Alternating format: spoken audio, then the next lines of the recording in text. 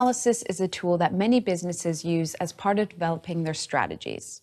SWOT stands for strengths, weaknesses, opportunities, and threats. It helps organizations think about what they should and shouldn't be doing. You can use this framework on a personal level as well to spot opportunities that you didn't know existed and to identify problems or circumstances that might have a negative effect on your career. To perform a personal SWOT analysis, first think about your strengths. What advantages do you have that others don't? What do other people say you do better than anyone else? What skills and experience do you have that make you unique? List as many of these as you can. Next, think about and list your weaknesses. What tasks do you avoid because you don't feel confident doing them?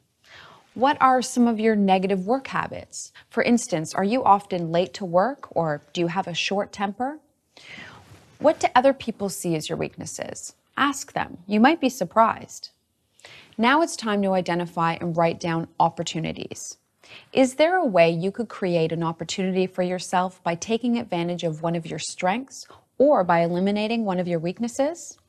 Also, look at your organization. Is something happening in the future that could be an opportunity for you? Next, you need to list the threats that might be standing in the way of your dreams and goals. What obstacles are you facing at work? What problems could your weaknesses cause if you don't address them? Are any of your colleagues competing with you for projects or a promotion? Finally, look at each of the four lists you created and decide what actions you're going to take to minimize threats and take best advantage of the opportunities open to you. Add these to your action program or to-do list. Now, read the article that accompanies this video and learn more ways to uncover strengths, weaknesses, opportunities, and threats.